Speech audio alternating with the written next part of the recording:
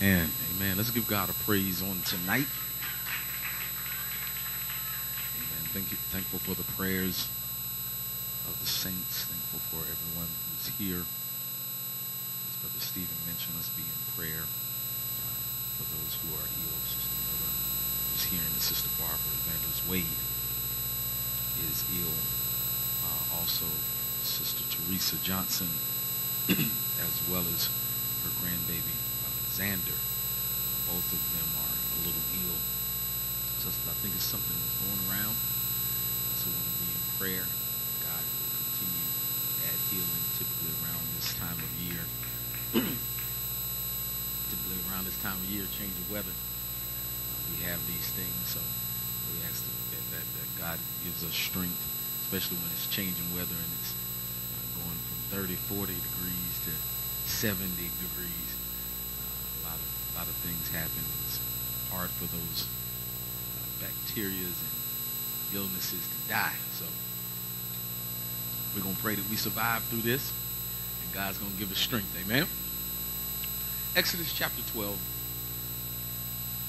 gonna read for our text two passages of scripture from which we'll take a thought on tonight. Grateful for this Wednesday midweek refueling. it's a very familiar text tonight. Exodus chapter 12, reading verses 12 through 14. I'll read it as you follow with your eyes. Give me a chance to get there. It's the second book of the Bible, Exodus chapter 12,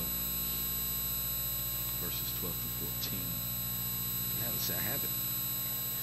This way, For I will pass through the land of Egypt this night.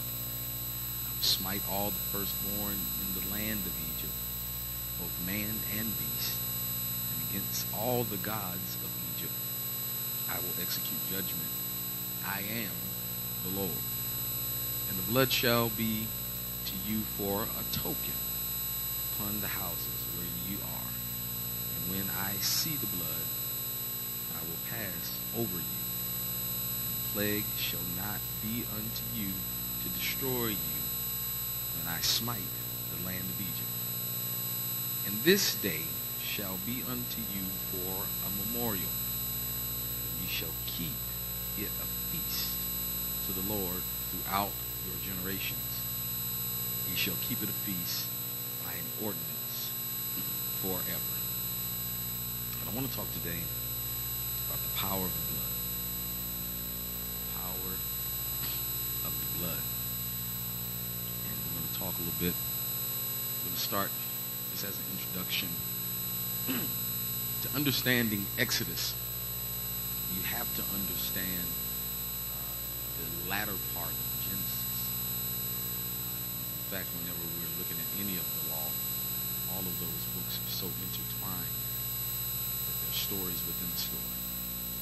So when you see the book of Exodus, the word Exodus just means to exit or to evacuate. So when we look at the book Exodus, Exodus evacuate from where? The primary theme of that book is detailed getting out of Egypt. And when we look at it in the context of studying the scripture, Egypt is always a type of or a symbolism for the world or worldly system. So when we talk about God bringing his people up out of Egypt, we're literally saying him bringing the church up out of the world or bringing his people up out of a worldly system. so oftentimes we'll refer to uh, many systems where Israel was in captivity. Uh, we'll speak of that nation as being symbolic of sin or a sinful nation. So we'll speak of Egypt this way. We'll speak of Babylon this way. We'll speak of Assyria this way. And we oftentimes talk about how God brings them up out of, brought them out of Babylon, brought them up out of Egypt. And I told you before, when we look at it related to the Greek word church, ecclesia or ecclesia, that is a twofold word, ek and klesia, ek meaning out of, klesia coming from the word kaleo, means to call. So when we talk about the church, it's literally saying we are the called out ones, the ones that God has brought up out of.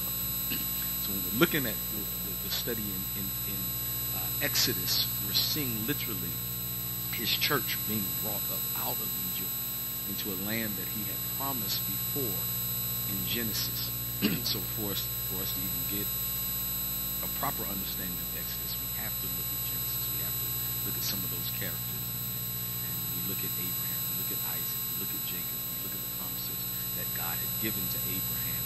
And then we trickle it down into one of Jacob's sons, uh, Joseph. Find that the latter part of the book of Genesis ends with the life of Joseph. Most of us know the story of Joseph. Joseph, uh, being this very interesting figure, he was one of the, one of the youngest. Uh, oftentimes we say he was the youngest, but he was not the youngest. Benjamin was the youngest. In fact, Benjamin was 10 years old, around 10 years old, when Joseph was sold into slavery. Joseph was around 17 years old. So he was one of the youngest, but he was not the youngest. Our Bible history is correct there and knowing that. but he was, nonetheless, as scriptures tell us, the favorite. And he was the favorite among his father. We talked a little bit about this. Uh, to be favored just means to be preferred over another. Tell somebody to be favored is means to be preferred over another. So Joseph was preferred over all his brothers. He had a Jacob had eleven others to choose from, but Joseph was the one preferred. And we find here, so we pick it up here in Exodus. We find the end of Genesis. It's it's after the famine. Famine, great famine came in the land. Joseph helped to deliver not only his family. I think it's interesting because we talk about him being able to deliver his family from the. But the more significant thing is he was able to de- deliver an entire nation, Egypt, from the famine. You know, we talk a lot about the family, uh, but to uh, to save an entire nation, that's pretty significant. so the entire nation was under famine.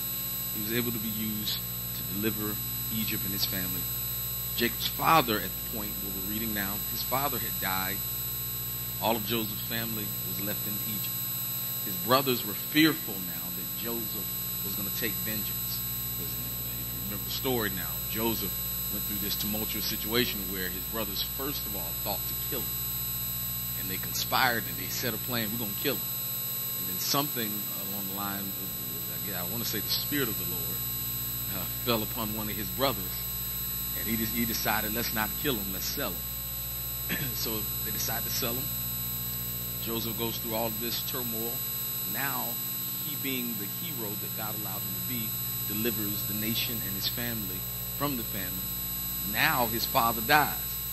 So the brothers are fearful now. Joseph gonna kill us now. Because not only is daddy not here to keep him in check, Joseph is a pretty powerful man in the kingdom. So if he says to Pharaoh, kill him, we all did. So now they're in a situation where they're afraid of it. So let's turn to Genesis chapter 50, verse 19. and start there. Genesis chapter 50, verse 19 through 21, we'll read.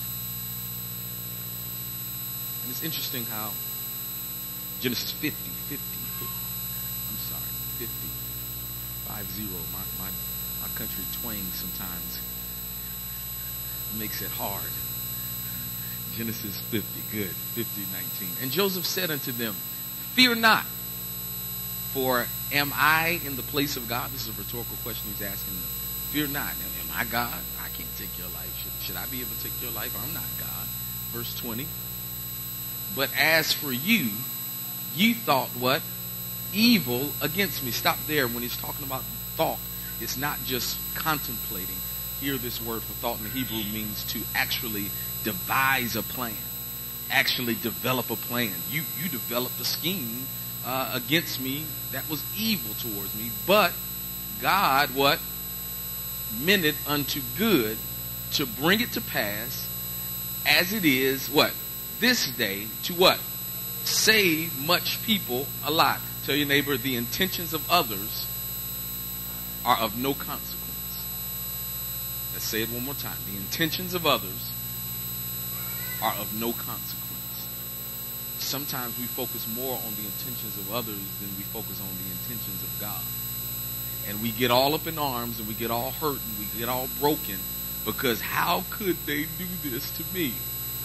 But the intentions of others are of no consequence if you focus more on what's the intentions of God.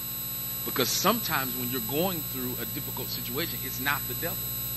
Sometimes when you're going through a difficult situation, it's the intentions of God.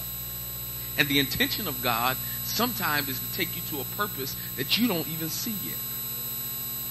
Sometimes, and this, this may mess you up here, sometimes tell your neighbor your purpose is not just your gift. Oh, y'all not here. Sometimes when God gifts us, we think that's our purpose. God's blessed me to be a singer. God's blessed me to be a preacher. God's blessed me to do this. And that's my purpose in life. No, that's the vehicle to possibly get you to your purpose. But we have looked at our gift as being our purpose. So what we have to look at is ask God, God, what's the purpose that you're going to wrought through my gift? Oh, y'all not hearing me. So in this situation, Joseph's dreams was not Joseph's purpose. His dream was the vehicle that guided him to his purpose. The intentions of his brothers were not what God was going to use to kill him, but the intentions of his brothers were going to bring him to the point where he had arrived this day. He said, now God meant it for the good to bring it to pass as it is this day to what? Save much people alive. Tell your neighbor, if I got to go through a little bit to save some people, oh, y'all not going to hear me. Uh, oh, oh, oh, oh, that, that test that you're going through right now, if I got to endure that job that, that, that I, that I can't stand waking up in the morning, oh man, if I got to endure them people talking about me, oh God, if I got to endure losing some stuff, if I got to endure losing some friends, God, if I got to endure this sickness, Lord, just to be able to save some people. Oh, oh, can can you be that benevolent that you're not so much worried about yourself, but you worried about the people that you would save? I'm always astonished by those who are in uh, heroic positions like the fireman or the police officer uh, and a fireman that would run into a burning building just to save somebody. Are you that way spiritually? The way that, that I'll run into harm's way, into danger, into the worst neighborhood, into the worst environment, into the worst situation, just so that I can snatch some people up out of hell? This is what Joseph was saying. He's saying all of this was the intention of God. So the intentions of others are of no consequence. You might have meant it for evil. You might have meant it that I die. You might have meant it that my name was ruined. You might have meant it that my reputation is ruined. You might have meant it that everything else that I had going for me that I would lose, but God had a different purpose. Tell your neighbor, you better get in line with God's intentions. Because when you get in line with God's intentions, then you're able to fulfill your purpose. You meant it for bad. Understand, not only was he a dreamer, but Joseph had a gift within a gift. Tell you, if he had a gift within a gift. Yeah, the scripture tells us not only was Joseph a dreamer, but he had the gift of interpreting the dreams. Oh yeah, you know, it's, it's one thing to be to have one gift, but have multiple gifts. I submit to you three three reasons why he was hated. He was hated number one because he was favored. He was hated number two because he was gifted. He was hated number three. The scripture tells us because he was young. Sometimes it's dangerous being young, gifted, and favored. Oh yeah, yeah, yeah, yeah. Everybody's not gonna like you when you're young, gifted, and favored. You know, I, have experienced that before. I've experienced that in ministry. Early on in my ministry, when God was working and using me, not everybody was happy that I was young, gifted, and favored. Yeah, I had people try to try to block ministry opportunities. Oh, he too young. Oh, he too young. I, I've been in this for 50 years. You think he gonna just walk up in here year one and be able to do what I did? Had to work for 50 years? You know, the church sometimes has it backwards. You know, I never forget when, you know, uh, when Kobe Bryant came into the league. When Kobe Bryant came into the league, the, the oldest uh, active player was Robert Parish. You know, he had been there, what, 30 years? Somewhere around there? But at his 30th year, Kobe was better than him at his first day. So do we look at Robert Parish that's been there 30 years and give him credence or Kobe Bryant, who was a perennial all-star, who would go on to be a multiple championship basketball player, Hall of Famer, future Hall of Famer? Would we give more credence to the person that's been there 30 years just because he's been there 30 years? Or would we give it to the one that's the most gifted? Sometimes the church, we have it backwards. But the world system will say, I'm going to give it to the one that's the most gifted. So sometimes you're hated when you're young, favored, and what? Gifted. Tell your neighbor, don't worry about people hating on your gift.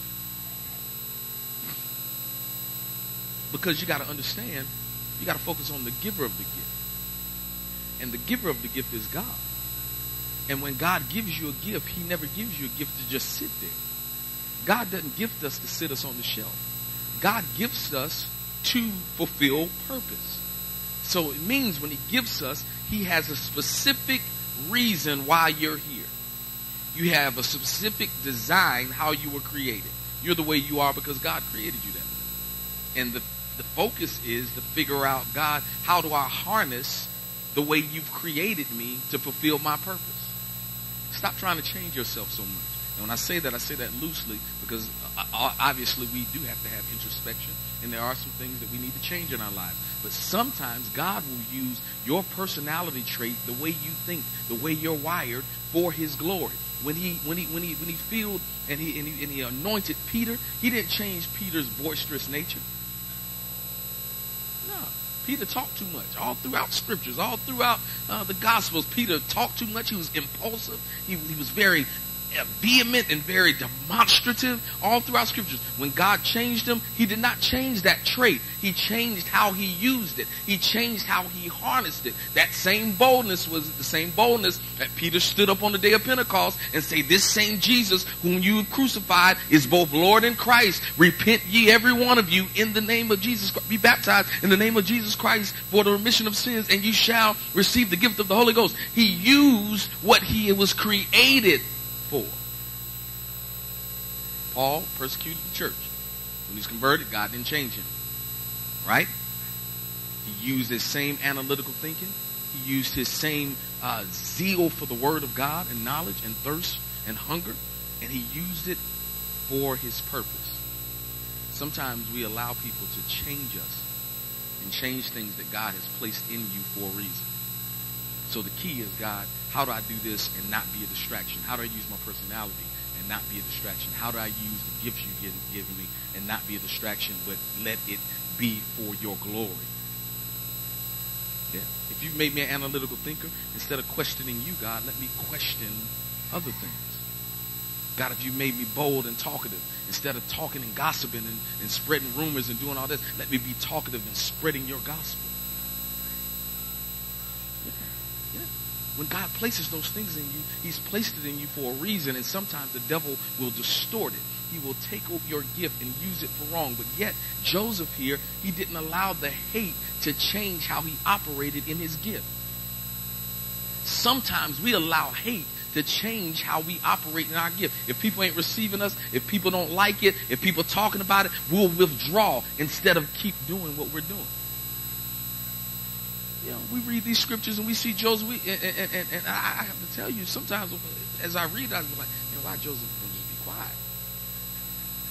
Because every time he talk, he he just making them mad. Every time he tell them these dreams, I, you know, I, am going to grow up and I'm going to be over y'all.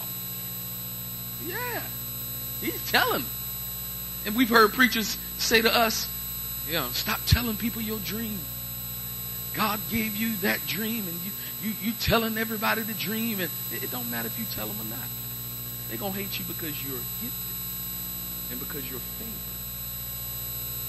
Joseph didn't let how people treated him change the way he operated in his gift. If consequences come as a result of me operating in the gift that God has given me, let the consequences come. If people gonna hate you for preaching the word of God, let them hate you. You preaching soft gospel ain't gonna change nothing. All you've done is worsened it. Instead of them being mad at you, he mad at you. And it ain't nothing like God being displeased with how you're operating your gift. What do I care about you rolling your eyes? If God is pleased, if God's smiling, why do I care about your eyes? But it's when we change to please man. Ne- tell your neighbor, I want to free you. I want to help you. I want to give you something that you can take from now into glory. Never, never, ever, ever fashion how you operate your gift to please people. Your focus should always be to please God. And if they're pleased in the interim, God bless you. But never fashion how you operate in your gift to please people. Because people are fickle. Yeah. Yeah, people do you realize within a seven day span that they they were saying Hosanna in the highest and fanning him with palms. And then the next seven they were saying, Crucify him, give us Barabbas. People change on you. Just like that. They like you. Another thing, within your gift, never be the flavor of the month. Yeah, never be the flavor of the month. Don't let people put you on that pedestal. I tell I tell a lot of young preachers that all the time. You know, people calling you, they got you preaching everywhere, and you don't think, oh, I can arrive. No, you, you, just the flavor of the month. And then when the next one comes that they like, your phone gonna stop ringing. That's why Paul told Timothy, be instant in season and out of season. Oh yeah, y'all hear me? Sometimes you're gonna be hot. Sometimes people gonna, gonna love what you do, and sometimes people ain't gonna even be checking for you like that. Be instant in season, out of season. And in those season and out of season, do what? Reprove, rebuke, teach, preach, do all this. Do what you're doing, whether you hot or not. And this is what Joseph did when he was with his brothers. This is showing when he was with his family, he operated his gift. When he got to Potiphar's house in the workplace, he was operating his gift. When he got in the prison, in a time of calamity, he operated in his gift. When he got before Pharaoh, among the most elect person in the whole entire land, he operated in his gift. It didn't matter what place, what setting you put him in, he operated in his gift. What is your testimony? Will you operate in your gift when you're on cloud nine and then when you're in the valley, you just somewhere reluctant to operate in your gift? Is your gift dependent upon your personality? Is your gift dependent upon how you feel that day? Is your gift dependent upon how people receive you? Is your gift dependent upon whether you're not in, eh, whether you're in front of dignitaries or not? Will you still preach the word of God no matter who's around you? Sometimes you got to give do a gut check sometimes we change depending upon who we're around. You know, I, I call them convention saints. You know, when they, when they hear on Sunday morning, they got one personality, but when they're at the convention, they don't necessarily know you. Yeah. Uh, praise the Lord. Oh, God bless you. We go to the same church. Because some people change dependent upon the setting and dependent upon who's around you. But if you could be consistent, whether you're in front of the presiding bishop or a lay member, God will bless you. Because God doesn't like us flip flop. He wants us to be as consistent as Joseph was. Joseph was this way. Now, moving along. Joseph died. Scripture tells us in Genesis 50. I'll paraphrase it. He died at the age of 110 years old he died, but before he died, God blessed him with two sons, Ephraim and Manasseh. And because he blessed him with these two sons, and because of the sacrifice of Joseph, the Bible said that Joseph was able to see even to the third generation of Ephraim, and was able to see Manasseh's son that came to his bedside. So he was able to see not only his children, but his children's children, even down to the third generation. But he died, and when he died, he left a promise. Let's go to Genesis chapter 50, verse 24 through 26. Giving you a whole lot of background for for this story. Genesis 50, 24. And Joseph said unto his brother, I die. I'm dying, in other words. And God, what? Will surely visit you and bring you what? Out of, there it is again, up out of this land into the land which he swore to Abraham, Isaac, Jacob. So Joseph was, was reciting to them and reminding to them the promises that was given to Abraham, Isaac, and Jacob, these great patriarchs, right? All right, and Joseph took an oath of the children of Israel saying, God will visit you. Now, how, how am I going to give you my word and I'm dying? Wow. I'm giving you my word, but I'm dying. I'm making an oath, but I'm dying. Most people will looking at that and be like, that don't really amount to nothing if you die. Why is it why was it so important? Because he wasn't giving them his oath, he was giving them what God had said. So he was dying, and in his dying, he was giving them God's word. So the oath that he was making, he was just reminding them and reciting what God had already said. My oath to you is just the word of God. Tell your neighbor, I can't promise you nothing but the word of God.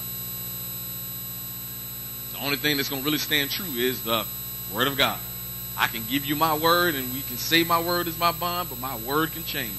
So the only thing that's consistent that I can give you is the word of God. The only thing we can pass down to our kids. The only thing we can give to our family. The only thing we can give to the lost and the dying generation is the word of God. So the oath that he was making with them was the word of God. I promise you that he's going to visit you. Surely he's going to visit you and he shall what? And ye shall carry my bones what? From hence. Right, don't let me die right here. Carry my bones with you. Don't let me, don't leave my, my bones in Egypt. All right? Because I was here and the Lord used me in Egypt, but this ain't where I'm supposed to be. I'm coming up out of Egypt. So when you come out the world, y'all take me out the world too. That's what he was saying. All right? Verse 27, what did he say? mm-hmm.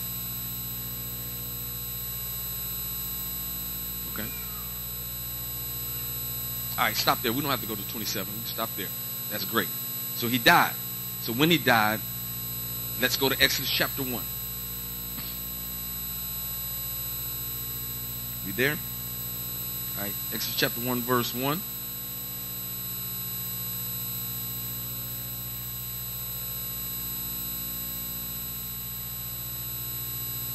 Uh, we'll fast forward through that. Let's go to verse 6.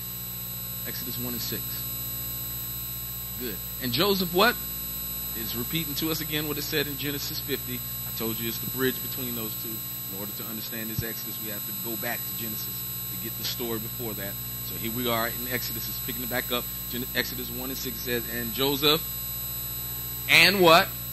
All his brethren and wow. So the time has transpired now. He dies. All his brothers die.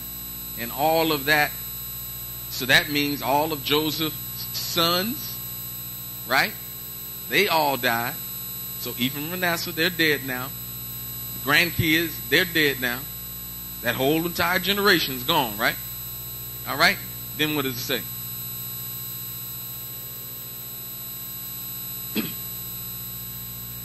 and what?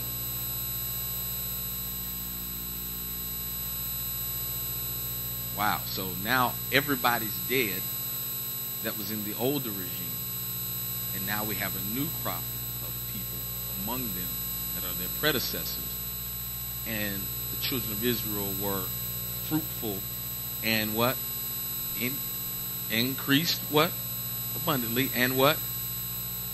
And what? Stop there. Most of this sounds like they just grew as a people. Right? But there's a difference. Understand when Genesis, when he created man, he told him what? Be fruitful and multiply. Understand we've looked at that and that just, we just thought that just meant to have babies. Right? But look at it in its greater context when it's saying being be fruitful and multiply. One, two things he's saying there, two commandments. One of them he's taking care of for you. The second one he's asking you to do. So when he says be fruitful, it's talking about the fertileness of the womb and the health of the seed. So when he says be fruitful and multiply, he's talking to your body and saying be fruitful. All right? You can't be fruitful by yourself. You can't make your womb healthy. You can't ensure that your seed is going to germinate, right? So twofold when he says be fruitful and multiply. Be fruitful, he's commanding that now to you. You be fruitful. I've created everything that you need to bring forth. So now I'm commanding you to be fruitful because you have everything that you need in you. So I'm commanding you to be fruitful and now take what I've given you to be fruitful and multiply. So tell your neighbor, you have no excuse because everything you need to bring something forth, say it, is in you. And not only is it in you, he's already spoken, say, be fruitful. Be fruitful. So the second part of it is to be multiplied. So because of that, now we see Israel was fruitful. They were fertile. They didn't have any deadness in their womb. Remember Sarah? The Bible says that she, her womb was dead. But he still brought forth in a dead situation. But Israel, during this time, that wasn't their problem. They were fruitful. They didn't have no deadness in their womb. And because of that, it says they increased abundantly. This increased abundantly means that they were able to have an abundance of everything that they needed. And then they were able to multiply. All right? And not only that, they waxed exceeding mighty, meaning that they were strong. So the land was filled with them. So we see that. We see all this stuff that's happening to them. Verse 8. Now they're what? Who what? Now wait a minute. Wait a minute. You mean to tell me that this great hero saved our entire nation from famine? And you ain't at least heard of him? English doesn't give it any context. Go to the Hebrew. The Hebrew does not say here, it's not interpreted that he did not know him. It's interpreted that he refused to acknowledge him. Yeah. Wasn't that he didn't hadn't heard of him before. He refused to acknowledge him. There arose up a new king that refused to acknowledge Joseph. All right? So when we see it here, he knew him, he just refused to acknowledge him. But the interesting thing here, the Hebrew word here that we have is yada. Anybody want to know what yada is also used for? It's a praise. It's an acknowledgement. So yada, how they would display it, yada would be to extend the hand toward God, as if I acknowledge you. So in this instance, when it's talking about Joseph, there arose a Pharaoh that refused to acknowledge Joseph. All right? Knew not Joseph. All right? So because of that, he made a plot. Verse 9. And he said unto the people, Behold, the people of the children of Israel are what? Wait. Wait. So you mean to tell me God has already commanded them to be fruitful? He's put everything they need in them to go forth. They multiplied, like he said. They increased in abundance. They became a mighty people. And even Pharaoh himself acknowledged they're more mightier than we. But yet, verse 10.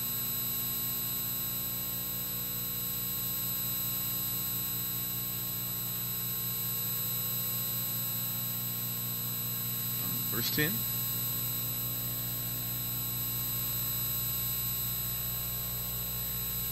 fight against us. Now, isn't this interesting? They're already mightier than Egypt, but yet they're about to fall into slavery to Egypt. They're already mightier than Egypt, but they're about to fall into slavery into Egypt. They're already mightier than Egypt, but they're about to fall into slavery to Egypt. What we missed here is what did God promise Abraham? What did he promise Isaac? What did he promise Jacob? And what did Joseph promise the people of God? That surely I make an oath to you that God will allow you to come up out of the land. He didn't tell them how he was going to do it. But did not Pharaoh just now confess to them? Get these people up out of. Oh, y'all, y'all, y'all gonna be Bible students with me today? So sometimes your way out is going through. I just lost half the audience here. Y'all didn't want me to teach this like this. But God is showing us in this scripture Israel's way up out of is to go through it. I can't, I can't, I can't get you to Canaan without allowing you to go through Egypt. I, I, couldn't, I couldn't bring you to be this sanctified, holy saint that you are right now without allowing you to go through some stuff in the world yeah, yeah, yeah. All that wilding out, all the stuff that you did, and all that self-destructive behavior. You know, I did some of that stuff just so that I can bring you up out of it to get you to your promise. Uh, I, I did that for a reason. I did that for a purpose. I allowed these these taskmasters to be assigned to you. I allowed this persecution to you. Let's go to verse number eleven. Therefore, did they set over them taskmasters to afflict them with their burdens. And they what? Built for Pharaoh treasure cities, Pithom and Ramesses. All right? Let's stop there. So after they did this, which is interesting because we already outnumbered, we're already stronger than them. But somewhere along the line, God allows us to fall into these conditions. Somewhere along the line, God, this ain't adding up. How is it that I'm being held captive to people that I'm better than? Oh, y'all, man. Some, some of y'all working on a job and got a manager that you smarter than right now. And you like, God, how in the world am, am I working under this individual? You know, I just want to say it nice. This individual. Because sometimes before God really takes you to the place that he wants you to be, he'll allow you to go through some stuff that don't make any sense that, that, that looks contrary. God, how can you say you with me and I'm going through so much? God, how can you say you with me when, when it just looks so crazy? God, how can you say that you're with me when it looks like I'm losing? Anybody ever been that way before? God, how, how, you know, God, how can I really testify that you're a great God when it looks like I'm losing in this battle? It seems like every week there's something. It seems like every day I get bad news. It seems like every time I take a step forward, the, the, the pressures of life just push me back 10 paces. And, and how is it that I'm going through all of this, but yet I'm supposed to shout with victory and say that I'm a child of God. Yet I'm supposed to lift up my head and be excited and glorious to be a child of the king when I'm in bondage in Egypt. They had all kind of taskmasters that were on them. They went through so much uh, that the Bible says that the more that they afflicted them, God still allowed them to multiply and grow. What you don't realize for some of us, sometimes you got to count your blessings. And the more that you're afflicted, the more that you're bruised, the more that you're wounded. If you really start to count those blessings, you say, God, I'm more blessed now than I was before I was going through this. Anybody ever been that way before? I'll, I'll tell you, I've been unemployed before and been more blessed eating at better restaurants and doing more leisure stuff than I did before. And I'm like, God, how in the world? Because this don't really make no sense. Uh, but I dare you to tell your neighbor, the more that they afflict you, the more that you're going to multiply in. Understand? Man adds, but God multiplies. So with God's growth, it's not one plus one equals two. God grows exponentially. So God will give you two, and out of the two, He'll give you eight.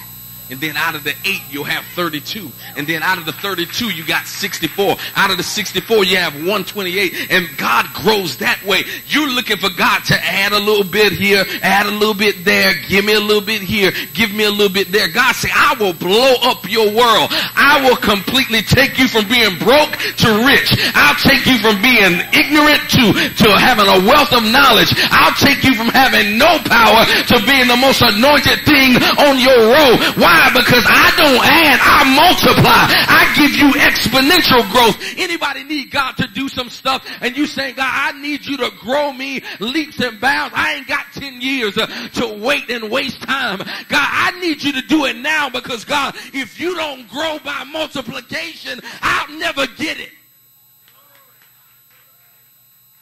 Yeah, some of us some of us too far behind. So some of us too behind the curve for God just to add a little bit. Some of us have wasted too much. That's why he said, I will restore to you the years that the cankerworm has stolen. Not the minutes, not the seconds, not this little day by day stuff, but I will restore to you the years that the cankerworm and the palmer worm and that caterpillar and the great army has sent you. We talk a lot about the, the, the cankerworm, but we don't talk about all of those that he that he talks about, when you talk about all of those that he talk about, is basically giving you three different types of creatures. And these three different types of creatures, one comes and eats a little bit. The other comes, eats the rest. And then the other one comes and eats the rest that remains. So he's saying, I sent three great, uh, this great army, three different entities to just eat away at you a little bit at a time. And what this didn't take, I sent this to take. And what that didn't take, I sent that to take. And it deteriorated stuff over a period of time, leaving you with nothing. And for some of you, you've been going through that. One problem comes and takes a little bit of your. So another problem comes, takes a little bit of your joy. Another problem comes, takes a little bit of your joy. And you're standing there with nothing. And God is saying, that's exactly where I want you to be. Because when you're there, that's when I can bless you with more. And I'm going to restore the years that they have stolen from you. I'm going to give you the former rain and the latter rain in one month. Something that takes you three months to get. I'm going to do it all in one month. I'm going to rain on you and give you a surplus that you've never seen before. The Bible says, because they went through all this, we know the story. Moses, he arises. God allows him to be hidden because Pharaoh made a decree to kill the firstborn, firstborn of every house. Babies.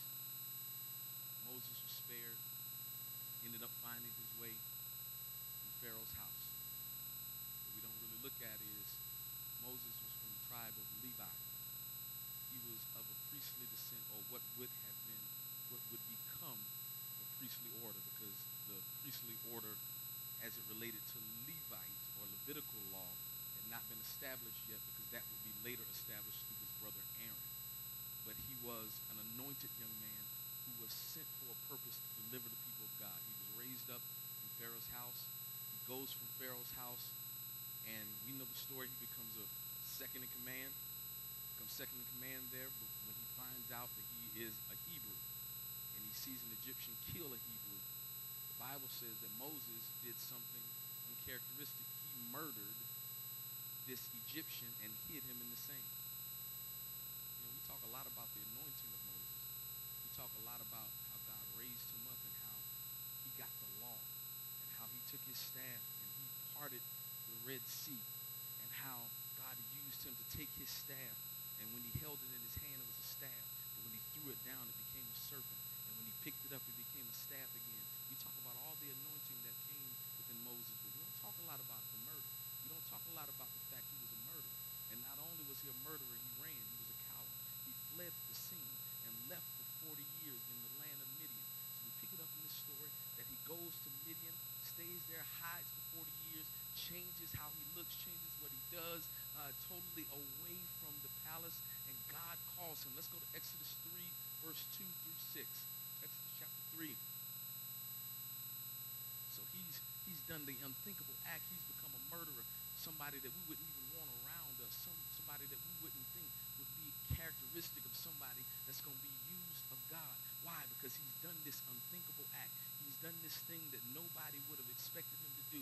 He's done this thing that we would have thought you can't bounce back from being a murderer and God using you to deliver his people.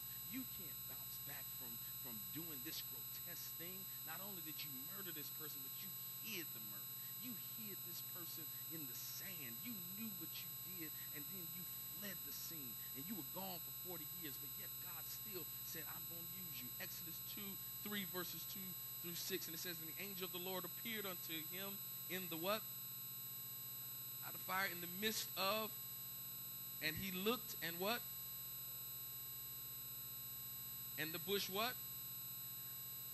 And Moses said, and see. And what? When the Lord saw,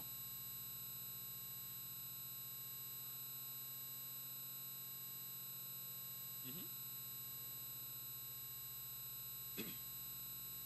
so when Moses, when Moses changed his character, he, he used to running and fleeing. But this time he said, let me see what this is going to be. The, the scripture said that the angel of the Lord came unto him first. But then when Moses looked, it said what?